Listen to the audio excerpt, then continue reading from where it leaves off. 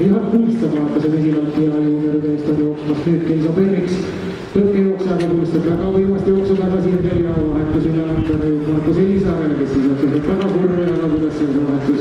kas ta survestas või mitte Anatoli Svetkovi vastu, on siis jooksmas ja on noorsooplatsi, vist kaks ees noorsooplatsi viimast vahetust jooksmas Timo Viismaa, ütleme, on seal veel ees, on väga tärkaka ja ülejäänud koondis Timo Viismaa ees, aga ainult ees, aga ta suudab ilmselt tasandada vähemalt ei, noorsooplatsi koondis võidab ju